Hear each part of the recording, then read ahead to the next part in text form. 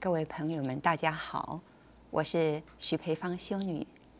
今天是四旬期的第一个主日的星期五，福音来自于马窦福音第五章二十到二十六节。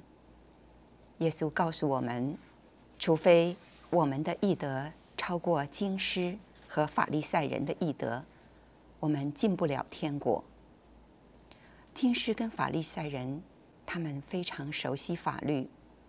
他们也用法律的啊遵守来评量别人好跟坏，这样的态度就缺乏了一个信仰的精神。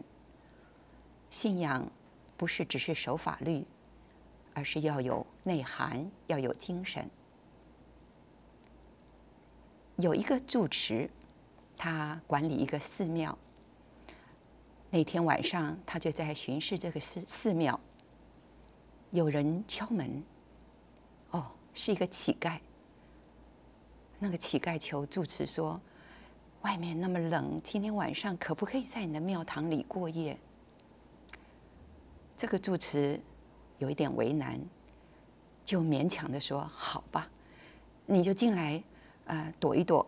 可是明天早上你很早就要走，因为很多人他们要来上香，你不要耽误了。”这些香客们，他们就所要做的敬礼。乞丐说：“好好好，明天早上天亮以前我就会离开的。”那住持就开始巡视他的庙堂。突然，他闻到有焦臭的味道，他就快点找。哦，找到那个寺庙的当中那个乞丐，他在烧一堆火。他说。你怎么把我的菩萨烧了？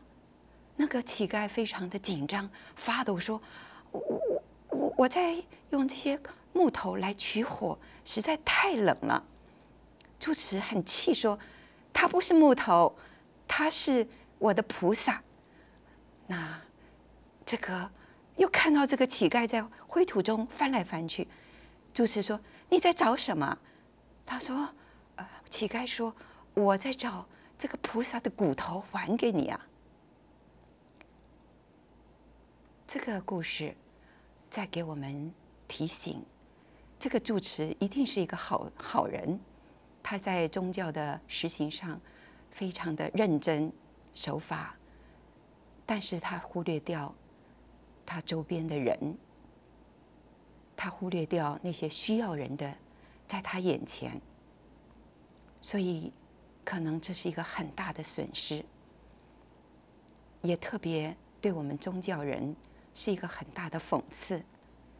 我们是不是有时候遵守了礼仪，哎，我们也管理的很好，我们也做得很成功，可是我们看不到那些在贫穷中的人、有需要的人、在边缘当中的人，他们需要我们的援助。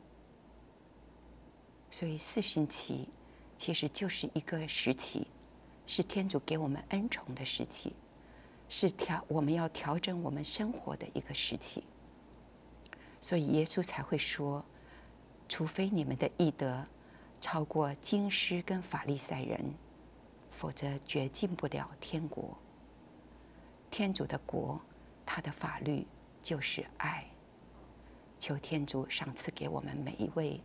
能够在爱中生活，也把这份爱分享给最最没有、最缺乏的人。